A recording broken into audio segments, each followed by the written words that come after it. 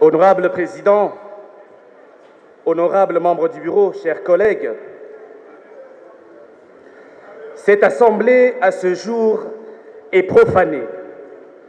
Profanée par la présence de M. Corneille Nanga.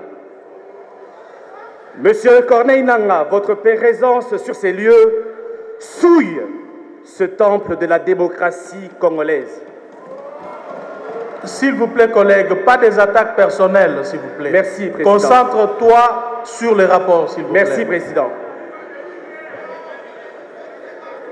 Honorable Président, honorables membres du Bureau, chers collègues, la CENI avait pour objectif d'organiser les élections présidentielles, législatives et provinciales, élections qui devraient être crédibles et transparentes.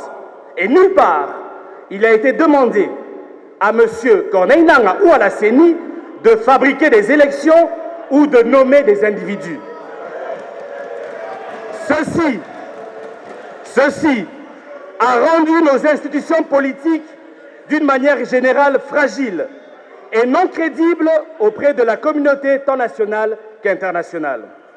Ceci étant, je vous tiens pour responsable du déséquilibre de l'action politique et diplomatique de notre pays, socle de l'émergence et du développement de chaque peuple qui se veut souverain. Honorable Président, honorables membres du Bureau, chers collègues, je chute en sollicitant aux membres du Bureau la mise en place d'une commission d'enquête aux fins d'auditer de fond en comble le processus électoral dont la question sera de dégager les responsabilités de tout un chacun au grand jour. Et cela au bénéfice de notre peuple dont nous sommes l'émanation.